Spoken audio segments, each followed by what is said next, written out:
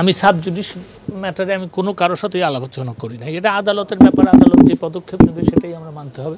Cyber crime প্রতিরোধ করার জন্য অত্যন্ত প্রয়োজনীয় একটা আইন। এই আইনকে কোনো মতেই বাতিল করা যায় না।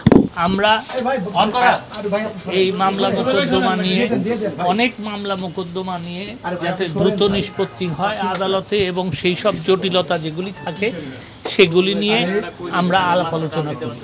এই মামলার জট কমানোর জন্য আলাপ আলোচনা করি। তো সেই সেই আলোচনার জন্য উনি এসেছিলেন আজকে।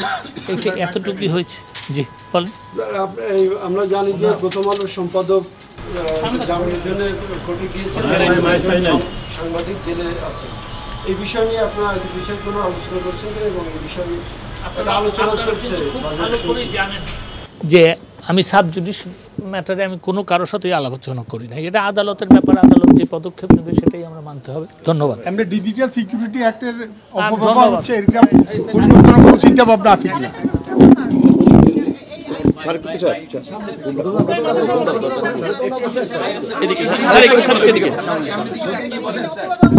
Digital digital digital security act cyber crime প্রতিরোধ করার জন্য অত্যন্ত প্রয়োজনীয় একটা আইন।